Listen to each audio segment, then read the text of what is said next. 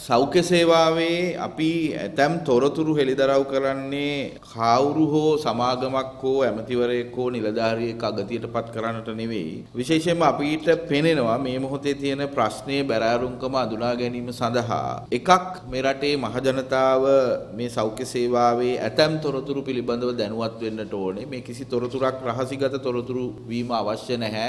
මොකද අපි මේ සියල්ල කරන්නේ රෝගීන් වෙනුවෙන් නම් ඒ රෝගීන් වෙනුවෙන් අපි සියලු දෙනා සෞඛ්‍ය අමාත්‍යාංශයේ රජය සෞඛ්‍ය වෘත්තිකයෝ එකතු වෙලා කරන කාර්යභාරය පිළිබඳව අපහැදිලි තරක් නැත්තම් අපිට අපි කරන කාර්ය සත්භාවයෙන් කරන එකක් කියලා අපිට විශ්වාස නම් කිසිසේත්ම අපි මේ තොරතුරු හංගන්නට හෝ ඇත්ත తත්වයේ මහජනතාවට නොකිය ඉදීමේ අවශ්‍යතාවයක් නැහැ කියලා අපි විශ්වාස කරනවා. මේ මේ යුගයේදී තමන්ගේ පාරිභෝගිකයා කොච්චර දුරට දැනුවත් කරනවාද කොච්චර දුරට සන්තෘප්ත කරනවාද කියන එක මත පමණයි සේවාවක් රැඳී පවතින්නේ. ඉතින් අපේ රටේ තියෙන විශාලතම සංවේදීම සේවාව විදිහට සෞඛ්‍ය සේවාව අපි ඒ දියුණු සංකල්පය මත පිහිටා ඉඳමින් තමයි මහජනතාව අතර සමාජ කතිකාවකට මේ තොරතුරු නිරාවරණය කරන්නේ. ඉතින් අපි නැවතත් කියනවා මේ තොරතුරු පාවිච්චි කරන්නට එපා. තම තමන් අතර තියෙන තරංගය සඳහා, තම තරන් අතර තියෙන බලය සඳහා, තම තමන් අතර තියෙන වෙනත් කාරණා සඳහා මේක පාවිච්චි කරන්න එපා. සමාගම් අතර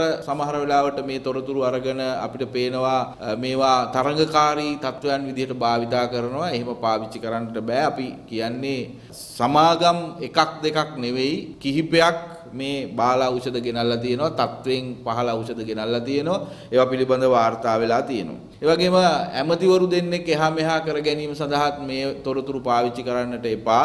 ආණ්ඩු පක්ෂය විපක්ෂය අතර තියෙන ගනුදෙනුවට මේ තොරතුරු පාවිච්චි කරන්නටත් එපා. හැබැයි ඔය කියන හැම පාර්ශවයක්ම අපිට මේක නිවැරදි කිරීම සඳහා අවශ්‍යයි සහ ඒ අපි හැමෝටම මේක අවශ්‍ය වෙන්නේ අපි හැමෝම එක මොහොතකදී රෝගීන් වෙන නිසා. දැන් අපි පහුගිය දවස්වල ඉදිරිපත් කරා තත්වෙන් බාල එහෙම නැත්නම් ඖෂධවල ප්‍රමාණවත් තත්ත්ව පාලනයක් නැති එහෙම නැත්නම් අපේක්ෂිත ක්වොලිටි එක එහෙම නැත්නම් අපේක්ෂිත තත්ත්වයේ නැති ඖෂධ නිසා සෞඛ්‍ය අමාත්‍යාංශයේ විසින් ඉවත් කරපු එහෙම නැත්නම් නවත්තපු එහෙම නැත්නම් තහනම් කරපු ඖෂධ සම්බන්ධයෙන් ඉතින් අපිට සිද්ධ වෙනවා මේ කාරණාවේදී අපි කොච්චර සංවේදීද කියන කාරණාව මහජනතාවත් එක්ක බෙදා හදා ගැනීමට සංඛ්‍යාවක් විදිහට ගත්තොත් මේ සංඛ්‍යාව 2022 අවුරුද්දේ ඖෂධ සැපයීම් අංශය මේ විදිහට නවත්තපු ඖෂධ ප්‍රමාණය નિયમિત තත්වයේ නැතුව හෝ තත්වයෙන් බාල හෝ වෙනත් ගැටලුවක් නිසා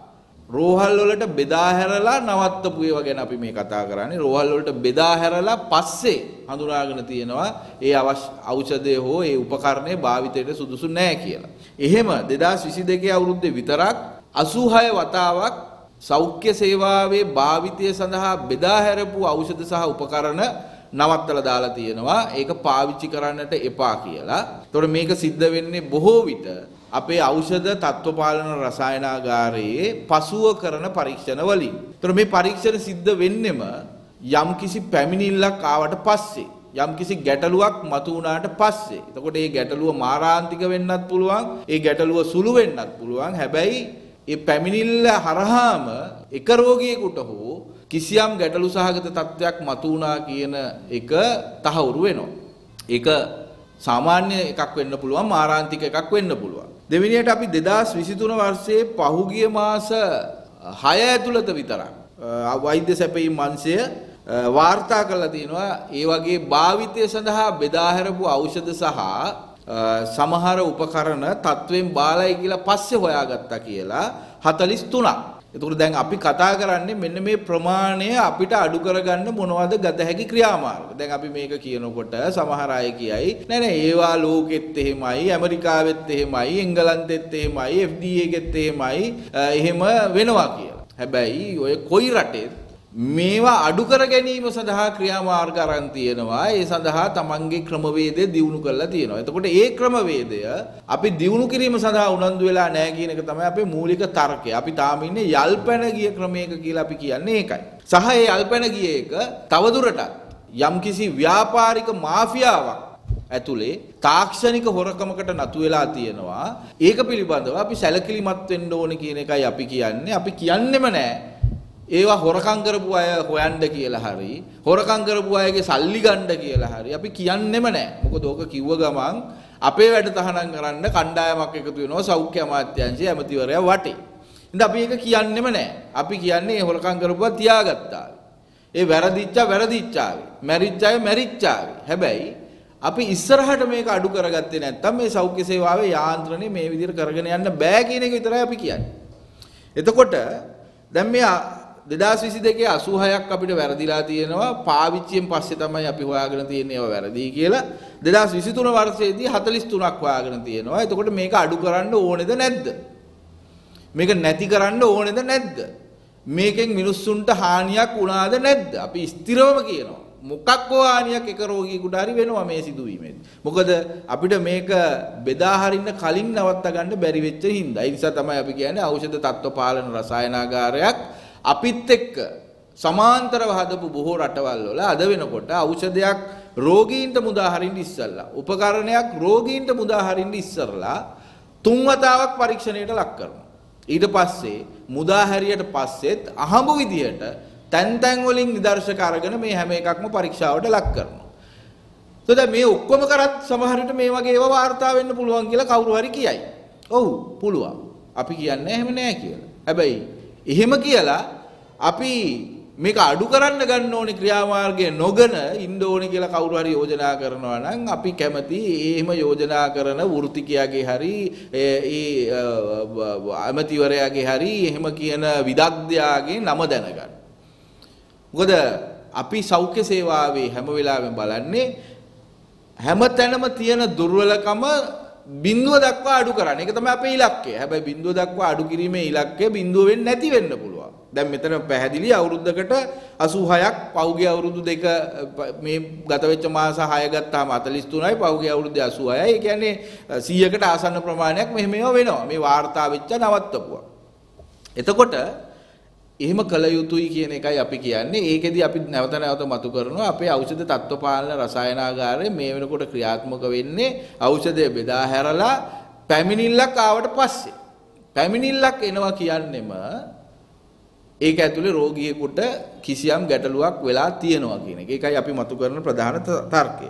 ඊළඟට මේක සම්බන්ධයෙන් වැඩිදුරටත් හොයලා බලනකොට අපිට පේනවා දැන් වෛද්‍ය සැපයීම් අංශය නිල වශයෙන් නිකුත් කළ තියෙන මේ ලේඛනයේ අවසාන වශයෙන් 2023 7යි 14 සහ 20 දිනයන්හිදී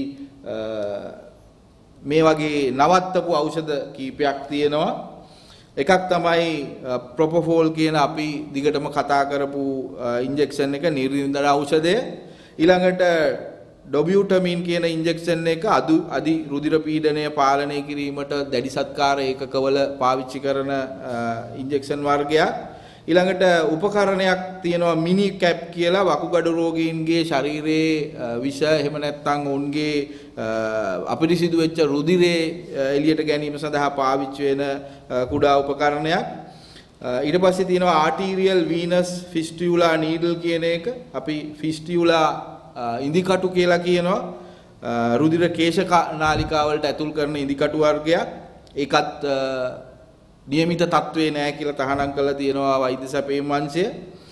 ඊට පස්සේ IV giving සෙට් කියන ඒවා විශේෂයෙන්ම රුධිර කේශ නාලිකා දමනී රුධිරේ නාලිකා හරහා ඖෂධ ලබා දීම සඳහා පාවිච්චි කරන IV සෙට් කියන ඒවා මේ වගේ අවසාන වශයෙන් උත්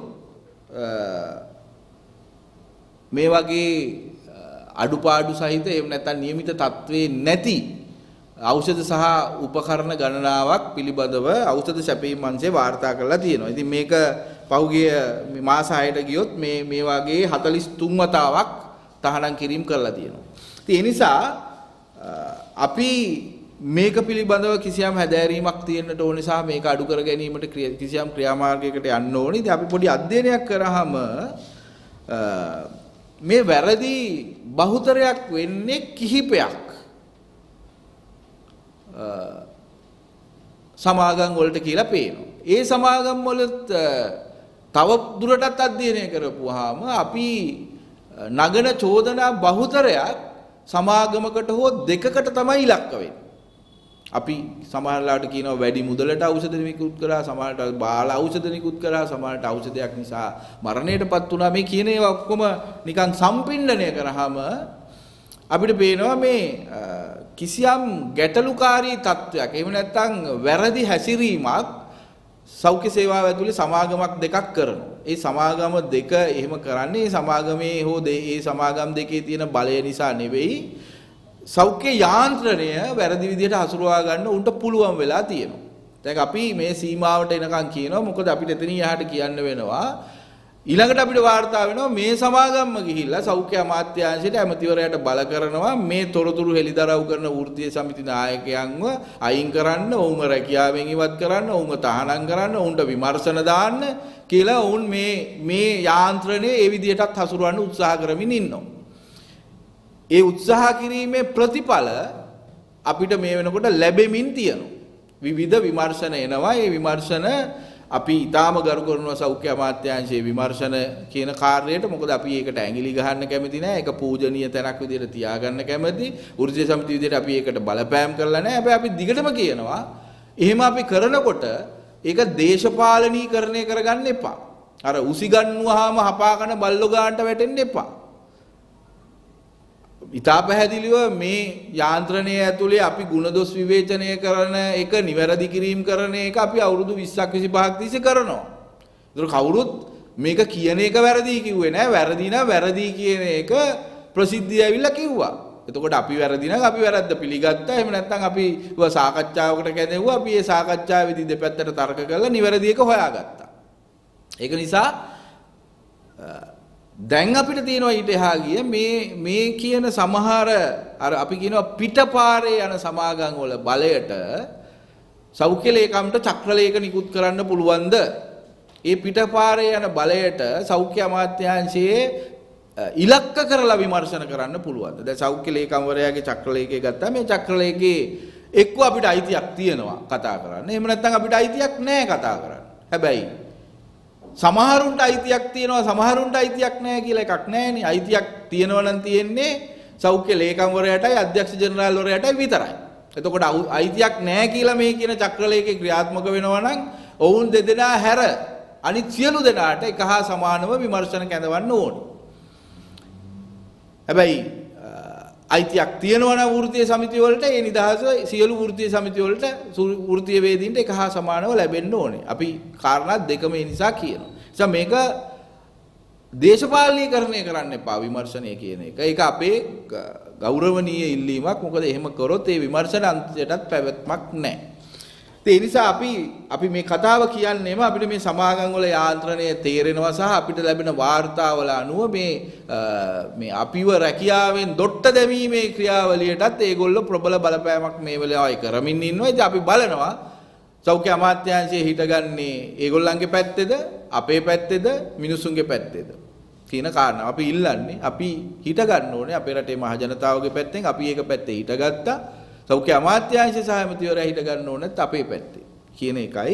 ඒ නිසා අපි මේ නිවැරදි කිරීම සඳහා වෘත්තිකයෝ විදිහට අපේ ඕනෑම මහන්සියක් සහයෝගයක් දෙනවා.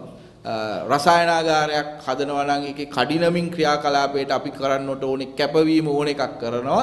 ඉතින් මේවා නවත්තන්න තියෙන එකම විද්‍යාත්මක ක්‍රමය තමයි අපේ පරීක්ෂණ ක්‍රියාවලිය මීට වඩා තහවුරු කරන එක. හැබැයි මේ මේක නැවත වතාවක් බිස්නස් මොඩලයක් කරගන්න එපා මේ තොරතුරු. මේක නිසා සමාගම් දෙකක් අතර තරඟකාරීත්වය හදාගෙන තව සමාගමක් ගොඩ යන වැඩක් හදාගන්නත් එපා. එහෙමත් වෙච්ච තැන් තියෙන හින්දා අපි කියන්නේ අපිට මේ සමාගම් අතර තරඟය වැඩි කරන්නට ඕනේ වුණාට මේ තොරතුරු පාවිච්චි කරලා නෙවෙයි මේ තරඟය ඇති කරන්නට ඕනේ. තත්වයෙන් උසස් ඖෂධ දීලා, තත්වයෙන් හොඳ ඖෂධ දීලා අඩු ගාණට දීලා තමයි මේ තරඟය හදාගන්න ඕනේ. එතකොට මේ තරඟය ඉදිරියට යනවා. ඊළඟට මේකත් එක්කම අපිට කියන්න තියෙනවා දෙයක් සෞඛ්‍ය සේවාව තුළ ඊයේ පෙරේදා නිවේදනය වුණා. අර ලියාපදිංචි ඖෂධ විතරයි ගන්න කියලා මේ తත්වය පාලනය කිරීමට අපි කියනවා ඒකෙදිත් විශාල ගැටලුවක් ඇති වෙනවා. මොකද මේ ලියාපදිංචි ඖෂධ බොහොමයක් ඒකාධිකාරයක් ගොඩනගාගෙන තියෙනවා. එතකොට ඒකාධිකාරයක් ගොඩනගාගත්ත සමාගම් වලට ලියාපදිංචිය දීලා දීම කියන එකට ඖෂධ නියාමන අධිකාරිය වග කියන්න ඕනේ. ඒකට විශේෂ හේතුවක් තියෙනවා. මොකද ඖෂධ නියාමන අධිකාරියම කියන විදිහට ෆයිල් 2700 ගාණක් තියෙනවා. උත්තර දුන්නේ නැති. ඒ කියන්නේ මේ තරංගකාරී ආයතන තමයි මේ ලියාපදිංචි වෙන්න බැරුව ওই ෆයිල් ගොඩේ තියෙන්නේ. ඒක හැමෝටම තේරෙන්නේ නැහැ. සමහර ෆයිල් වේගෙන් ගිහිලා සමහර ෆයිල් හෙමින් ගියාම ඒකාධිකාරයක් තමයි ගොඩ නැගෙන්නේ. එතකොට මේ ඒකාධිකාරය නැති කිරීම කියන එක ඉතාමත් අවශ්‍යයි. අපි ලියාපදිංචි අයට විතරයි නම් ඖෂධ ගෙන්වීම දෙන්නේ. ඒක හොඳ දෙයක්. හැබැයි ලියාපදිංචි වීමේ අවසරය හැමෝටම සමාන සාධාරණ වෙන්න ඕනේ. ලියාපදිංචි වීමේ අවසරය අසාධාරණ තත්ත්වයේ තියාගෙන ලියාපදිංචියට විතරක් ඉඩ දුන්නාම ඒකාධිකාරය හැදෙනවා. හැබැයි ඒක නවත්තන්න තව ක්‍රමයක් ලෝකේ අනුගමනය කරනවා. ඒක අපි දිගින් දිගටම කියනවා. මිල පිළිබඳව තීරණය කිරීමේදී එක සමාගමක් ඉල්ලුම් කරත් ඒකට රැෂනාල එකක් තියෙනවා. මොකද මේ ඖෂධ එකක්වත් අපි විතරක් පාවිච්චි කරන අපේ රටේ විතරක් තියෙන අපේ රටේ විතරක් ගනුදෙනු කරන ඒවා කල් නෙමෙයි. මේ ඕනෑම ඖෂධයක මිල තීරණය කිරීමේදී ලෝකයටම අදාළ මිලක් තියෙනවා. ඖෂධය නිර්මාණය කිරීමට වැය වෙන මිලක් තියෙනවා.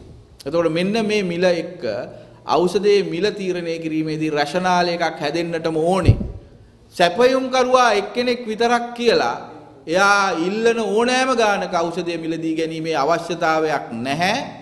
සෞඛ්‍ය අමාත්‍යාංශයේ ඒ සම්බන්ධයෙන් දැඩි ස්ථාවරයක ඉන්නවා නම් ඒ සඳහා අවශ්‍ය තොරතුරු සම්පාදනය කරනවා නම් ඒ තොරතුරු සම්පාදනය කරගන්න අපිට ඩිජිටල් පුස්තකාල ක්‍රම වගේ දේවල් වලට සම්බන්ධ වෙන්න පුළුවන්. ඒ නිසා කවුරු හරි එක සමාගමක් ඇවිල්ලා මං විතරයි මේක දෙන්නේ මං කියන ගානටම දීපන් කිව්වට සෞඛ්‍ය අමාත්‍යාංශය ඒව පිළිගන්න ඕනේ නැහැ. ඒව පිළිගන්නේ එහෙම පිළිගැනීම නිසා වාසියක් තියෙන නිසා කියලායි අපි කියන්නේ. ඒ නිසා ඒ වාසිය නැති කරන එක රජයේ සහ සෞඛ්‍ය අමාත්‍යාංශය සහ ඉහළ බලධාරීන්ගේ වැඩක්. ඉතින් ඒ නිසා අපි නැවත කියනවා වෛද්‍ය සැපයීම් අංශයේ මේ වෙනකොට මේ අවුරුද්ද සඳහා 43ක් 43ක් ඖෂධ සහ උපකරණ තත්ත්වයෙන් බාලයි කියලා නිවේදනය කළා තියෙනවා. පෞගේ මාසේ 20 වෙනිදා වෙනකොට ඔවුන් වාර්තා පහක් නිකුත් කළා තියෙනවා. ඒ වාර්තා පහ පිළිබඳව අපි තොරතුරු ඉදිරිපත් කරා. ඉතින් මෙන්න මේවා ටික අඩු කර ගැනීම සඳහා අපිට කළ හැකි සියලු දේවල් කළ යුතුයි. එහෙම නැතුව මේවා මඩ ප්‍රචාරවලට සහ දේශපාලන තරඟයට යොදා ගන්න එපා කියලා තමයි අපි ඉල්ලන්නේ.